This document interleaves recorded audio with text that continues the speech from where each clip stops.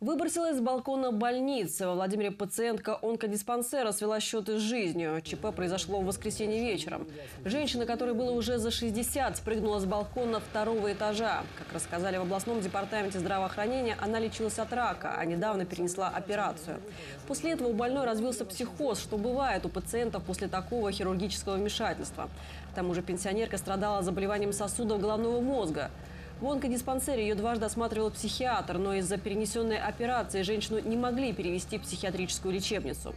Отметим также, что пациентка после падения выжила, несмотря на многочисленные переломы и черепно-мозговую травму. Она была доставлена в Красный Крест, где ей оказали помощь, но спасти ее все-таки не удалось. Позже от полученных травм женщина скончалась. По данному факту мы проводим сейчас служебную проверку онкодиспансера и будем все вот тонкости и э, разбирать, полностью ли была оказана помощь, еще ли какие-то были проблемы. В частности, пытаются понять, кто должен был присматривать за женщиной, тем более признаки психического расстройства были очевидны.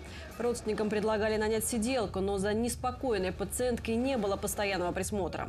К слову, по данным Министерства здравоохранения, около 10% всех самоубийств в России совершаются онкобольными. И, как правило, причиной становятся хронические боли. Был ли это тот самый случай и отдавала ли погибшая себе отчет в своих действиях, предстоит разобраться компетентным органам.